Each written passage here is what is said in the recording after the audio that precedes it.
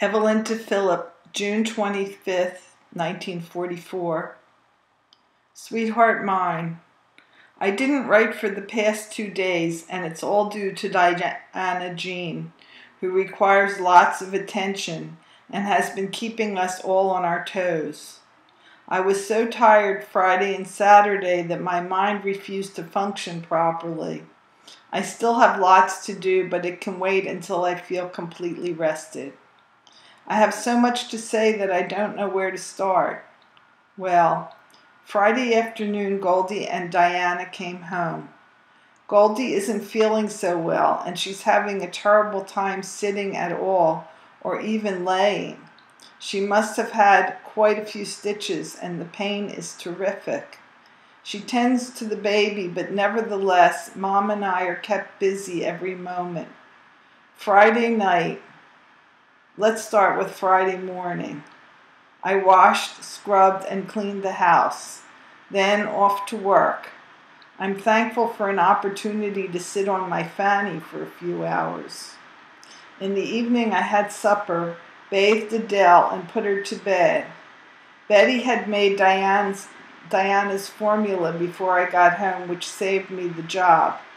Shortly before 10 p.m., I oiled and bathed Diana and changed her clothes. I didn't actually bathe her, sweet, I sponged her.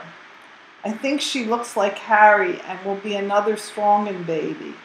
She's very small and very skinny, but I think she'll be quite a cute kid someday. She's not as white and pink as Adele was. She's darker complexioned. She has tiny black hairs and a tendency to frown, at which time she wrinkles up her brows. She gives us a big smile every now and then. Page 2. Undoubtedly, you're most anxious to know what Adele thought of her. Well, dear, Adele didn't even make a fuss about her. She merely called her a doll and imitated a baby crying. However, she imitates perfectly every move Diana makes.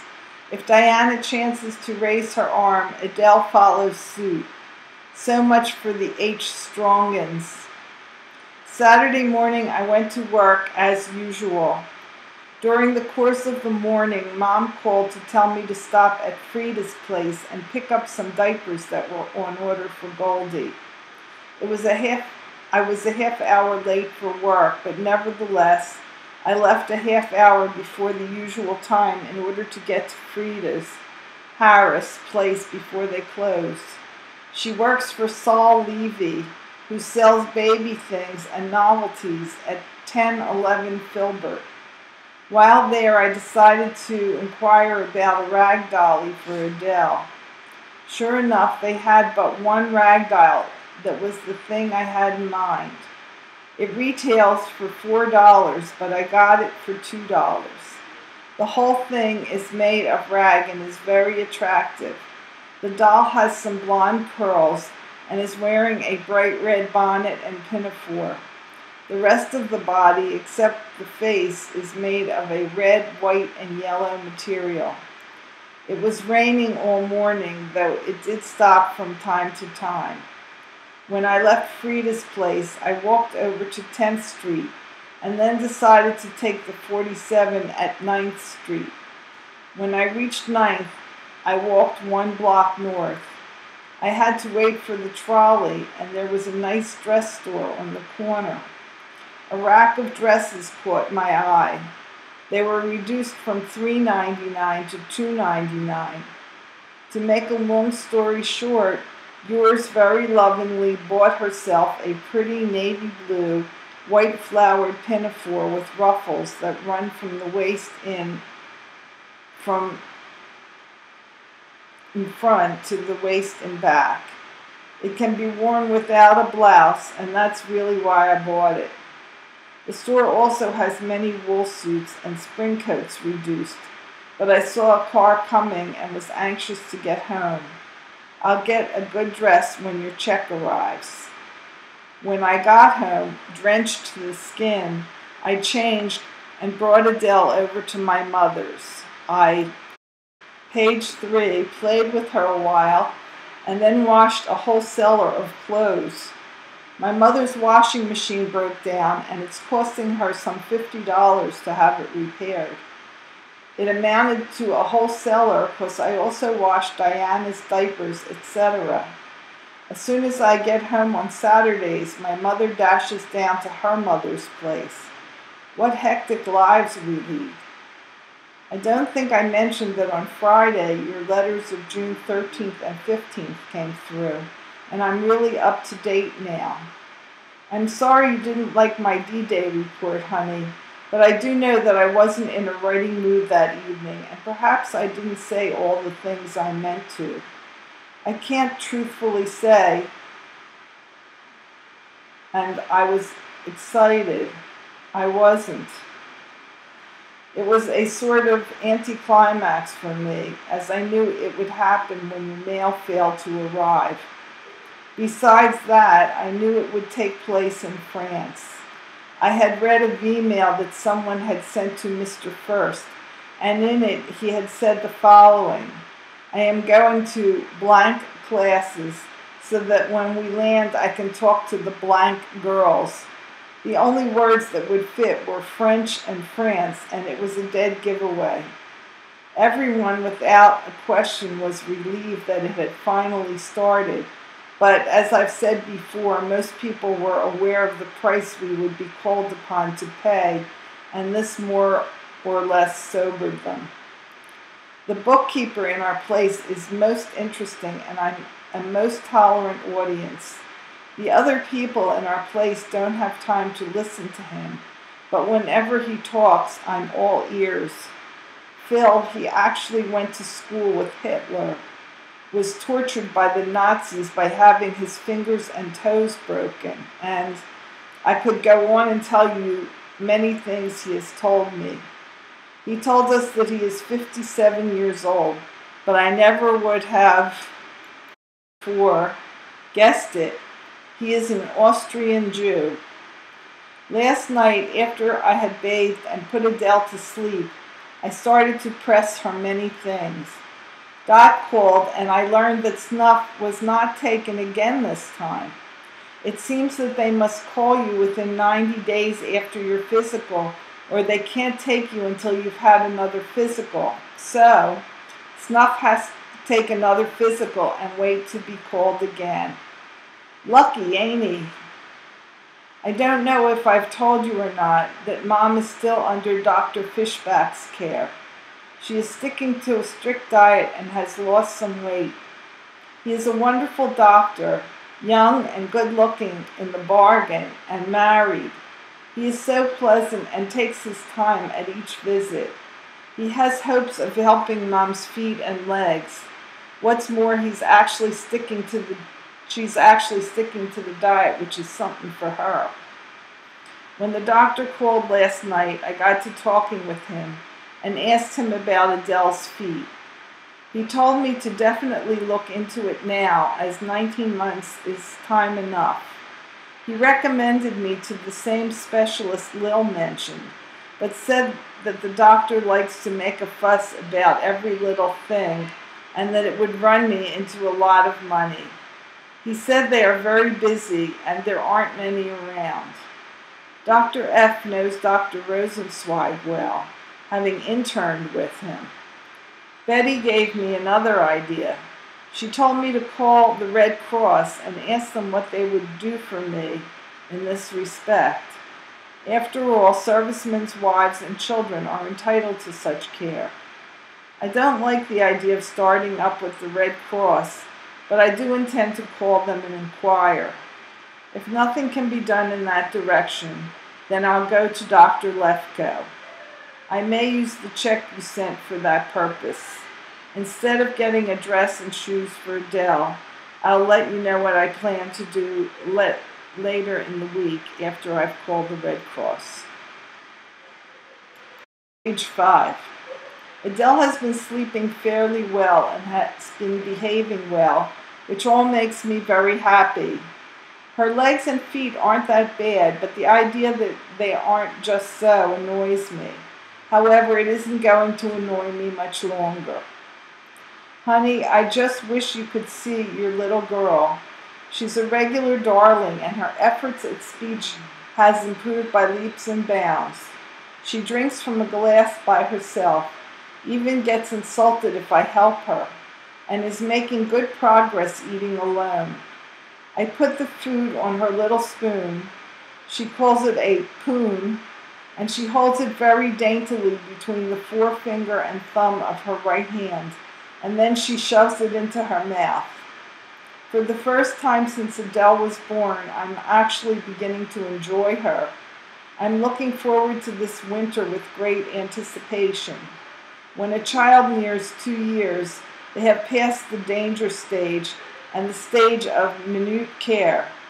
And I hope that maybe her daddy will rejoin us.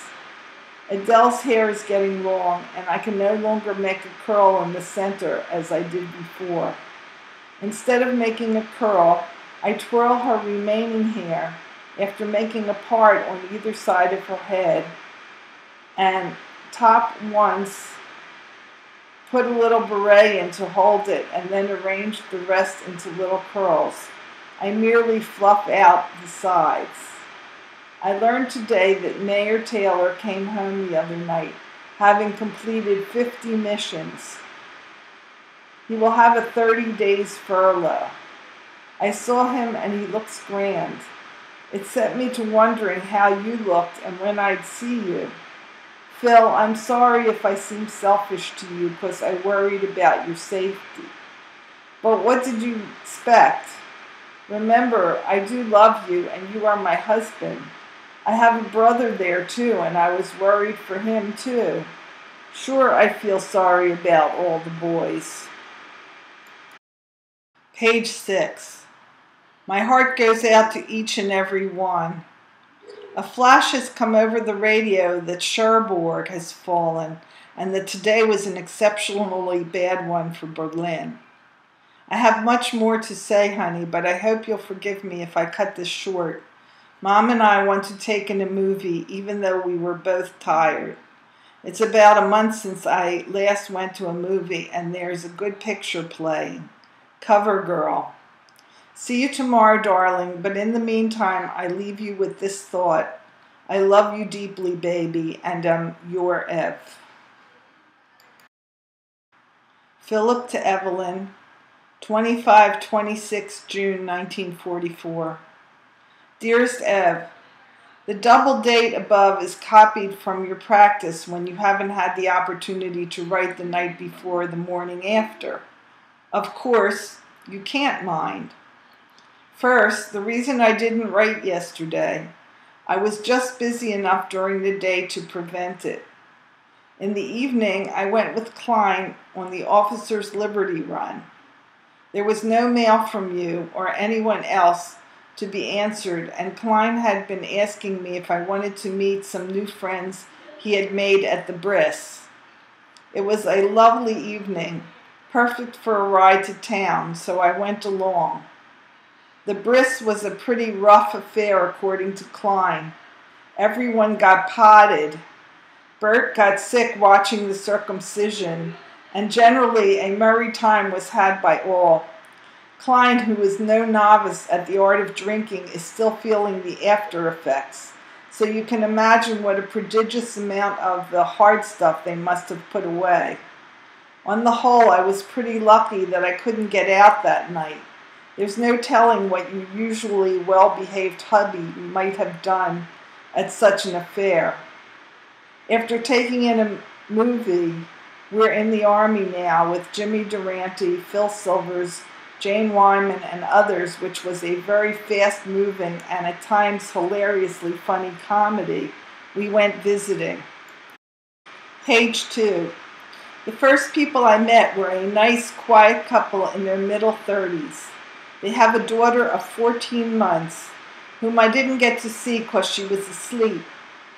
The wife's sister, who looks about 25, is on the stout side and has a husband in the Canadian Army, lives with them in their small apartment behind their beauty parlor, which seems to be very well equipped for this part of the country. They were very congenial, and I enjoyed the half hour we spent there. Then we went to see the D's. They have a rather large dress factory. A rather large apartment has been built into one wing of the factory. I don't know how many people are in the family. I only met the two Misters D and their wives. It was a rather odd scene we walked in on. Seated on the two place Davenport was one of the brothers and his wife. At their feet lay a large mongrel of chow and collie derivation. They were talking to an American, T5, who sat in a chair opposite them and scratched the ears of a beautiful German police dog. His name is Bob, the GI, not the dog. In another corner of the room sat the other brother, quietly listening to the conversation without participating and absently stroking the long black fur of a cute Persian kitten.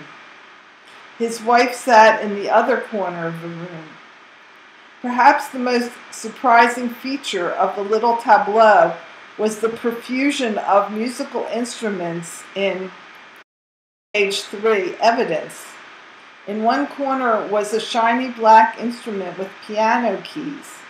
It looked like a spinet, only I couldn't perceive any space for the strings. When puzzling over it a while, I asked what it was. They all looked surprised and said, A piano, of course. Next time I'll take a good look.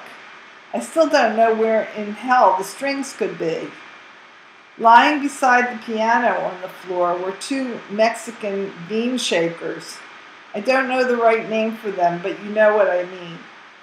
In the opposite corner, carelessly strewn about, lay an accordion, a guitar, a mandolin, and I think a banjo. Seems the whole family is musically inclined. The next time I visit, I hope to hear them play.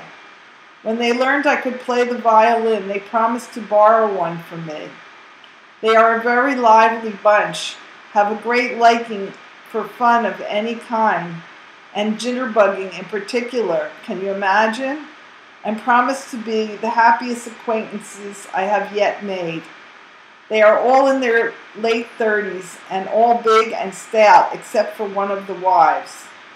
It must be a picnic to see the four of them jitterbugging. I'm looking forward to my next visit with them. Your letter of 16 June containing the latest snaps of Adele and your V-mail of 17 18 June just arrived.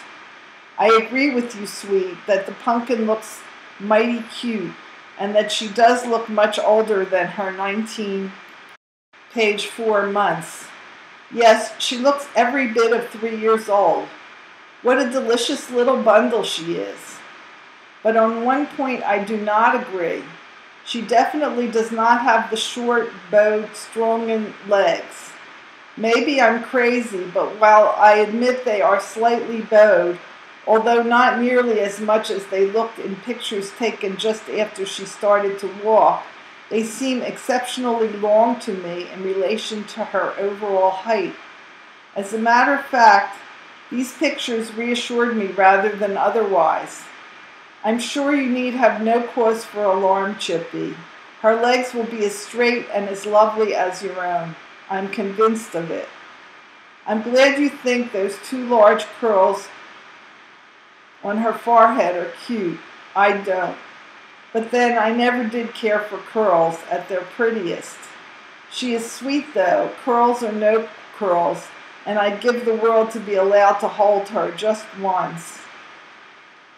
Don't be too sure that I won't see her before her second birthday either.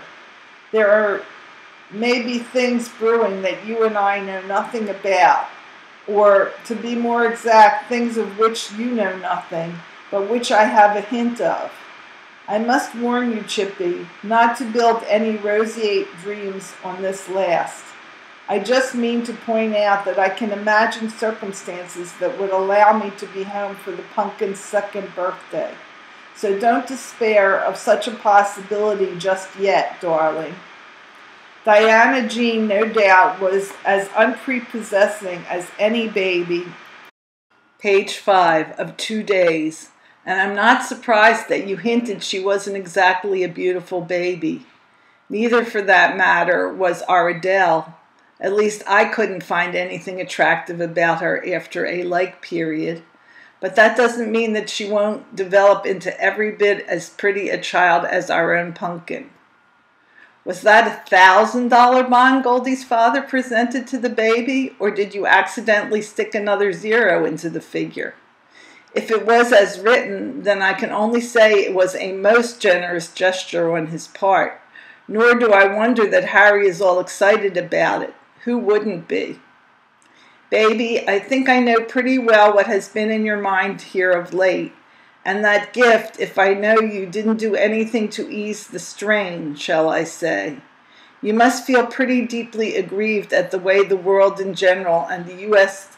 Army in particular has been treating you. I can understand this attitude in you, honey. It is typically feminine one. For my part, I'm very glad for Harry and Goldie and Diana Jean, nor is there any tinge of envy or bitterness to mar my joy in their good fortune. For you see, I still consider myself the luckiest, most fortunate guy in the world.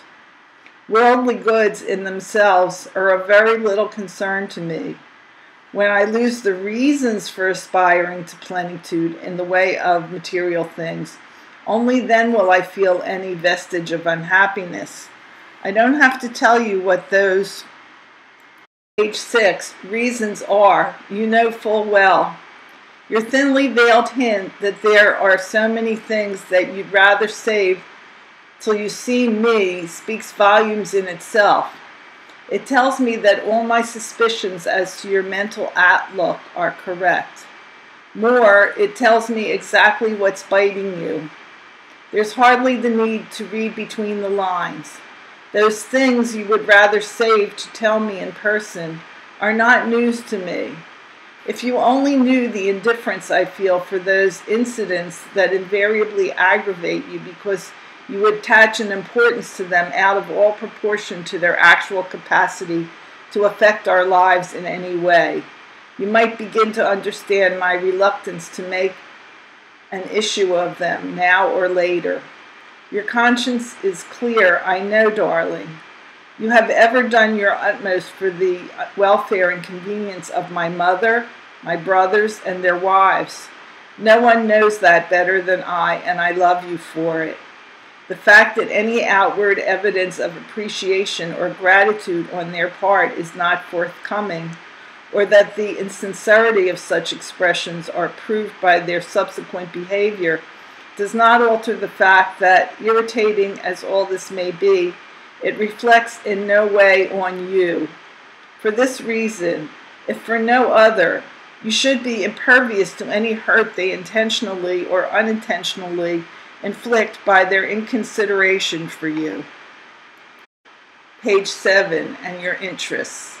Do you think for a moment, Chippy, that I am unaware of the psychological difficulties you have incurred since and because of my leaving home? Or that I am unmindful of their effect on your thinking?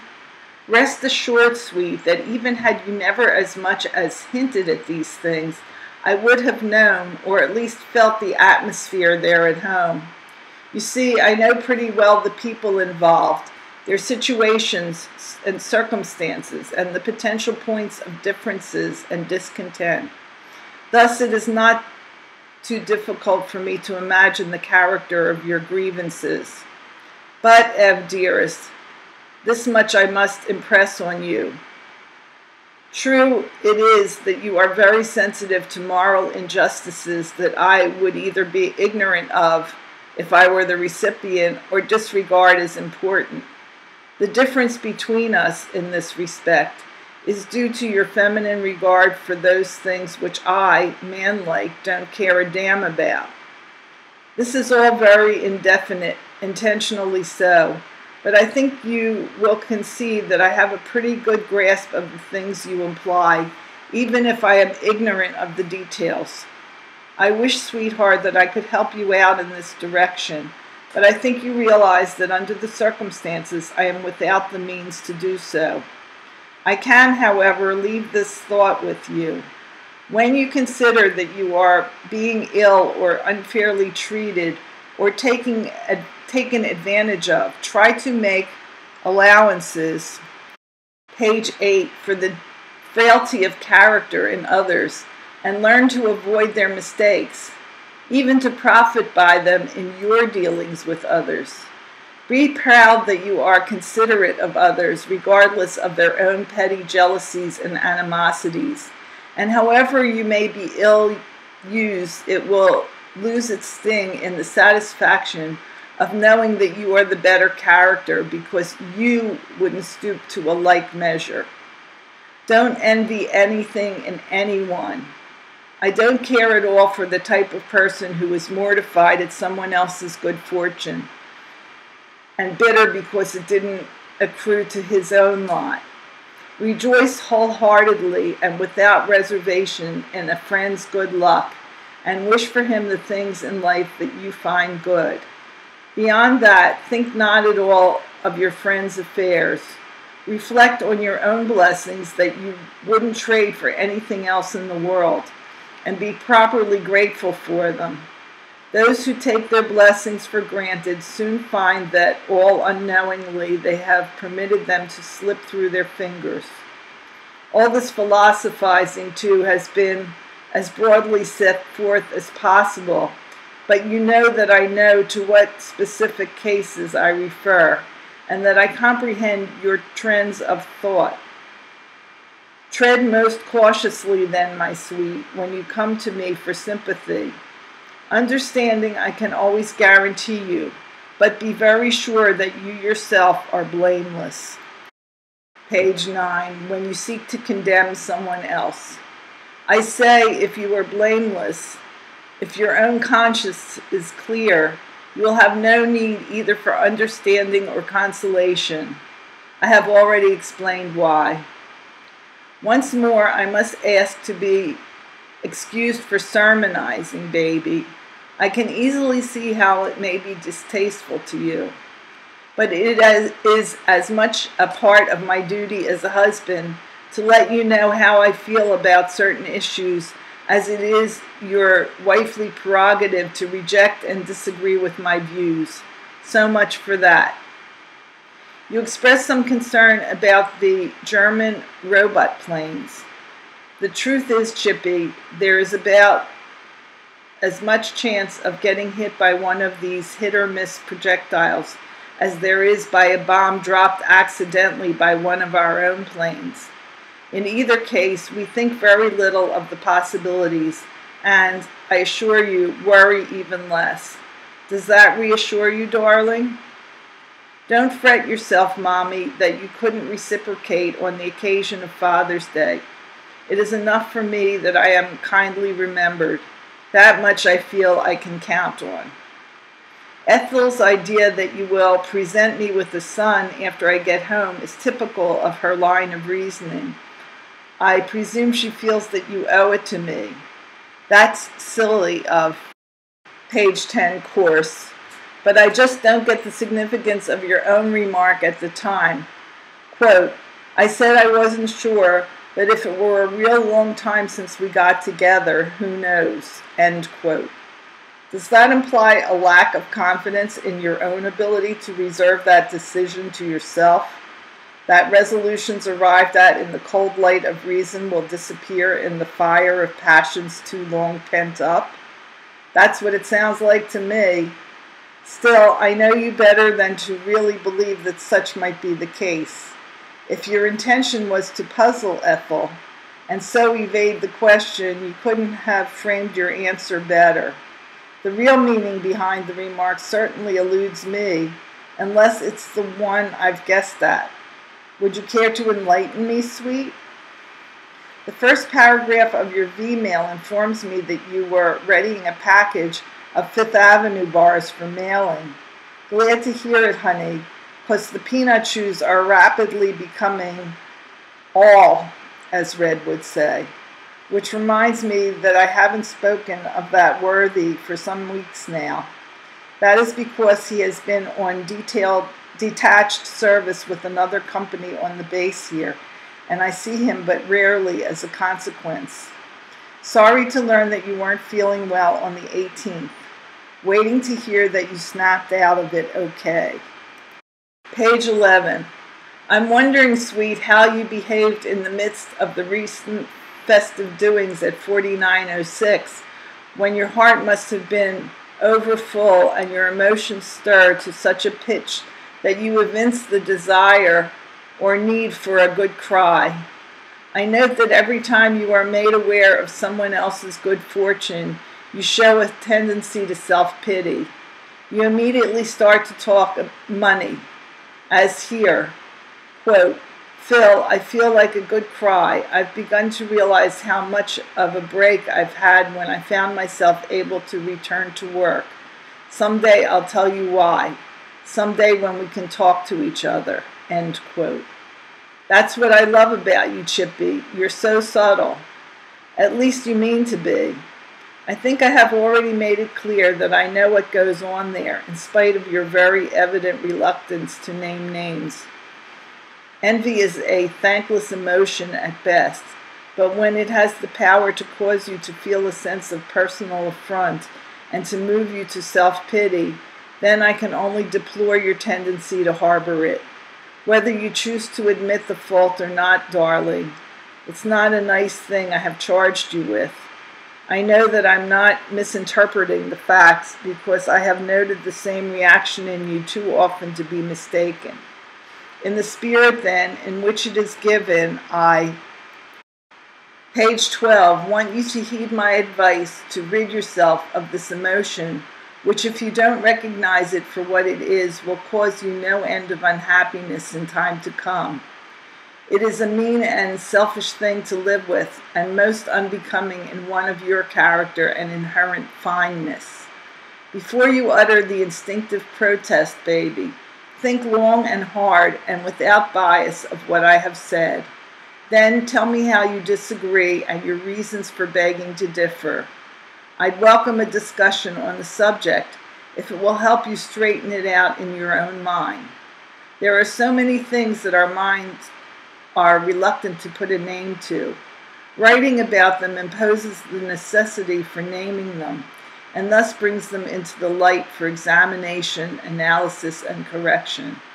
That is why I have such a clear insight to the workings of your mind, baby. Your daily letters are an education that way. Don't let that prejudice you against writing now. In conclusion, baby mine, and it's about time, don't you think? I want to reiterate my admonition to count your blessings you have admitted to a few in the past, and to prize them above all things. Everything will then come right, you'll see. I adore you, Ev, with a love born of mystery and increased by understanding. I never ceased being mindful of and grateful for the fact that I am your loving husband, Phil. P.S. My love to all. P.P.S. The clipping proves that I am not the only guy in the world that thinks and feels that way. PPPS, I find it necessary to send this piecemeal. Hope they all reach you at once. Bye now.